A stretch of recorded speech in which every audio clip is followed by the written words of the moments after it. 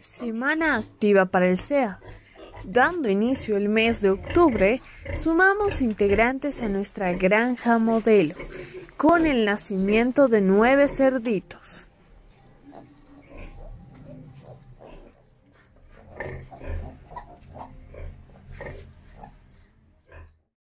Recibimos la visita de estudiantes de quinto curso A y B nivel primario de la unidad educativa Carlos Peredo Sandoval, ubicada en el municipio de Sacaba. Al inicio del recorrido, presentamos los atajados, que son una forma de almacenar agua en época lluviosa con el fin de sostener la producción agrícola a través del riego. Hay agujeritos por donde el agua va a empezar a salir, pero en gotitas, no va a empezar a chorrear fuera, ¿ya?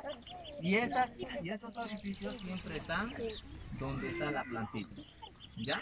¿Qué es lo que va a hacer? Abres el grifo y va a empezar a humedecer donde está la planta. Con este tipo de sistema de riego se ahorra el 90% de agua.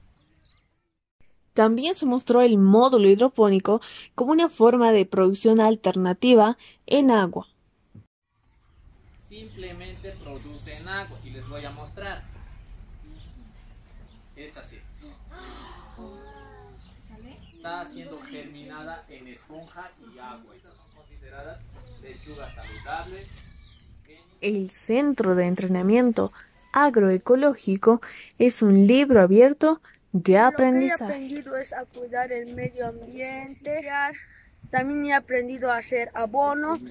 También he, he aprendido sobre las plantas, el riego.